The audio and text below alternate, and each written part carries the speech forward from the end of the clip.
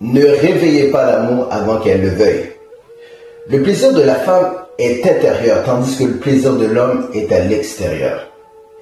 Il y a vraiment un temps pour chaque chose. Et lorsque dans votre vie, dans votre destin, la situation semble hors contrôle parce que vous n'avez pas créé les situations. En fait, oui, vous les avez créées. Nous sommes responsables de notre libre arbitre.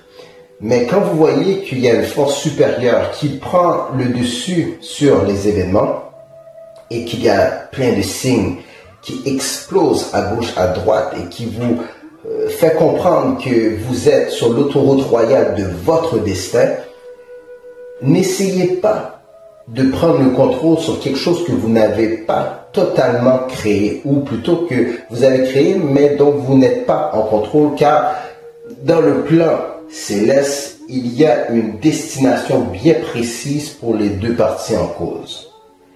Qui veut dire l'homme et la femme qui rentrent dans cette relation, dans ce destin, dans cet événement, dans ce moment.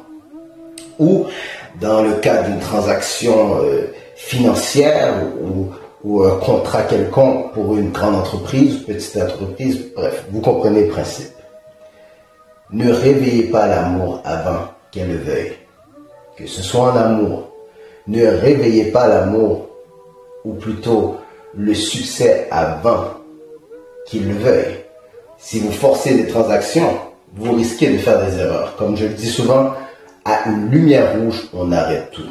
On ne traverse pas de peur de blesser d'autres et surtout de périr dans la collision en traversant devant un camion ou un véhicule quelconque, alors qu'il suffisait de rester patient et d'attendre que la lumière verte Salut.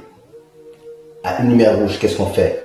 On étudie, on médite, on grandit, on évolue, on se retrouve, on se recentre, on trouve la paix d'esprit, on se reconnecte au Wi-Fi céleste et on avance lorsque la lumière est verte. Si ce genre d'informations vous intéresse, si vous aimez nos podcasts, écoutez John Henry TV, lisez mon livre Le succès est une décision, réussir est un choix. Joignez le club des riches.